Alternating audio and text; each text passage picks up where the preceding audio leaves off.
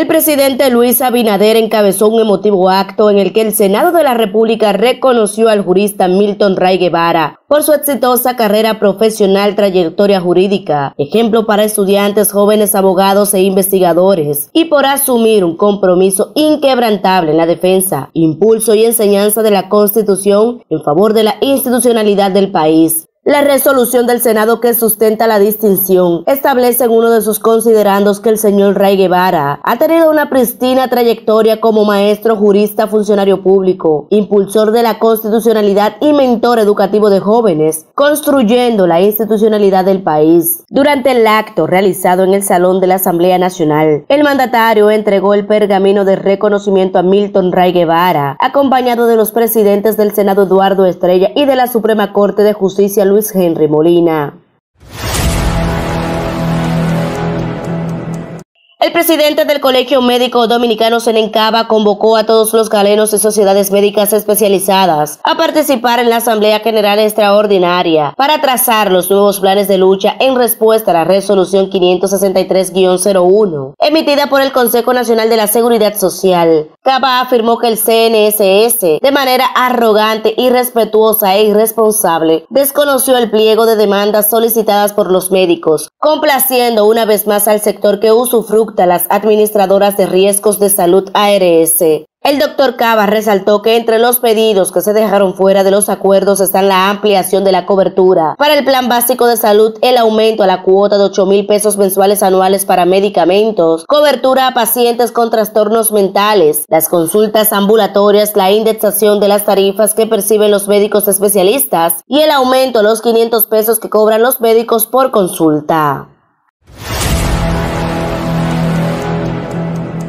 El Consejo de la Universidad Autónoma de Santo Domingo UAS aprobó un aumento de sueldo de un 15% al salario base de todos los servidores de esa casa de altos estudios. El aumento efectivo a partir de este mes de febrero incluye a los empleados activos y jubilados. La información la dio a conocer la Federación de Profesores de la UAS a través de sus redes sociales. El Consejo Universitario acaba de aprobar el 15%. Otra conquista más de FAPRO UAS, Comité Ejecutivo Nacional. El 17 de enero del 2022, el ministro de Educación Superior, Ciencia y Tecnología, Franklin García Fermín, anunció que los profesores y empleados de la UAS recibirían un aumento salarial del 15% en este mes a disposición del presidente Luis Abinader.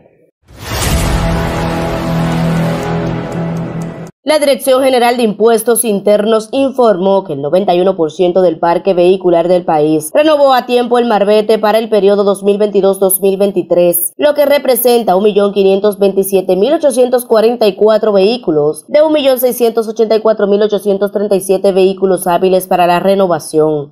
La entidad notificó que el pasado 31 de enero, tras finalizar el concepto del impuesto a la circulación vehicular del Marbete, fue recaudado el monto de más de 2,5 billones de pesos, de una estimación general de 2,7 millones de pesos. Esto significó un incremento de un 7% en las recaudaciones durante el periodo hábil en comparación con el año pasado. Luis Valdés Veras, director general de la DGII, saludó y reconoció el esfuerzo de los conductores de completar casi un 100% la renovación del marbete, al tiempo de exhortar a aquellos que aún no han renovado a pagar el costo del marbete para evitar multas por parte de los agentes de tránsito.